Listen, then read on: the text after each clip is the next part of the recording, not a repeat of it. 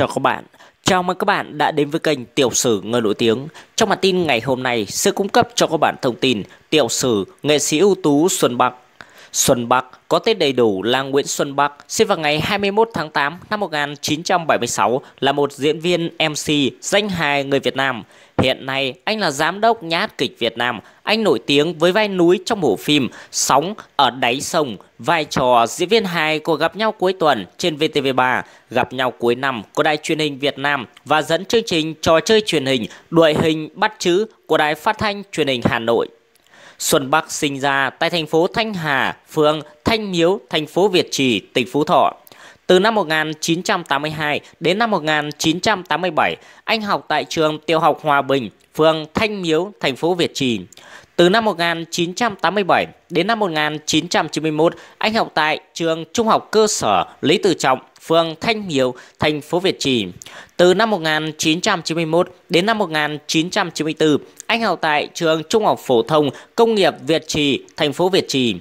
Năm 1998, anh tốt nghiệp trường Đại học Sân khấu Điện ảnh Hà Nội, sau đó làm việc tại nhà hát kịch Việt Nam và làm MC cho một số chương trình truyền hình. Anh kết hôn vào tháng 7 năm 2006. Ngoài việc là một diễn viên MC nổi tiếng, Xuân Bắc còn tham gia vào các hoạt động đoàn thể. Anh từng được trao tặng danh hiệu Thanh niên ưu tú thủ đô. Ngày 30 tháng 11 năm 2010, Xuân Bắc đã được chọn làm đại sứ thiện trí của UNICEF về nước sạch và vệ sinh môi trường.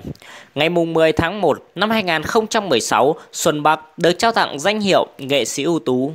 Tháng 9 năm 2016, Xuân Bắc được bổ nhiệm làm Phó Giám đốc Nhà hát kịch Việt Nam. Từ ngày 1 tháng 8 năm 2018, Xuân Bắc là một ủy viên của Hội đồng đội Trung ương khóa 8 theo quyết định số 287 QD TVK DTN CTTN của Ban chấp hành Trung ương Đoàn Thanh niên Cộng sản Hồ Chí Minh. Ngày 11 tháng 12 năm 2019, tại hội nghị lần thứ nhất, Ủy ban Hội Liên hiệp Thanh niên Việt Nam đã họp để chọn cử nhân sự. Xuân Bắc đã được hiệp thương vào Phó Chủ tịch Hội Liên hiệp Thanh niên Việt Nam khóa 8.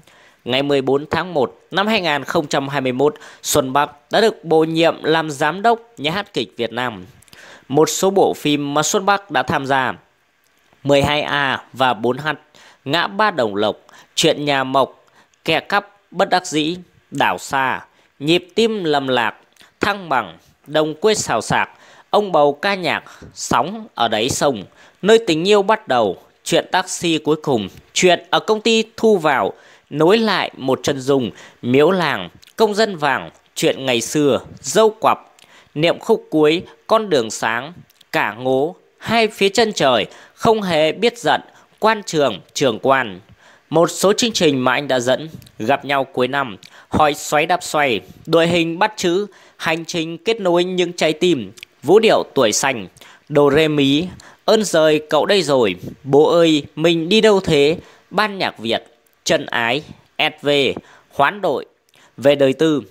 Cuối năm 2006, Xuân Bắc kết hôn với Nguyễn Hồng Nhung, sinh năm 1982. Năm 2016, Hồng Nhung là giảng viên khoa sân khấu của trường Cao đẳng Văn hóa Nghệ thuật Hà Nội. Hai người có ba con trai tên là Nguyễn Nhật Khánh Minh, sinh vào ngày 2 tháng 9 năm 2007. Nguyễn Nhật Võ Nguyên, sinh vào ngày 19 tháng 8 năm 2009 và bé Báo, sinh năm 2018. Cảm ơn các bạn đã quan tâm theo dõi. Các bạn đừng quên bấm like, đăng ký kênh và bật chuông để nhận được những video mới nhất. Xin chào và hẹn gặp lại các bạn ở những video tiếp theo.